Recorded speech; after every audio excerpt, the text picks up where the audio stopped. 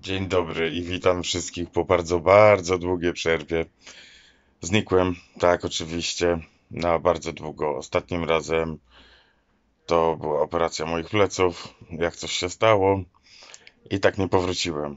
Wyjaśnię wam to pewnie wkrótce, dlaczego również nie powróciłem, ale musiałem zająć się wieloma własnymi sprawami i teraz tak się złożyło, że znowu jestem chwilowo na łóżku ale to też znowu inna sprawa.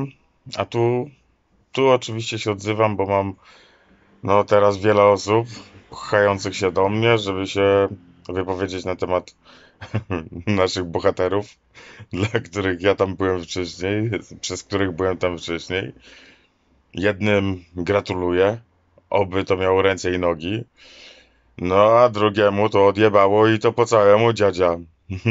po całemu. Widzę, że Starość, starość, nie radość. No ale spoko. Na pewno, na pewno wypowiem się na ten temat bardzo, bardzo e, szeroko.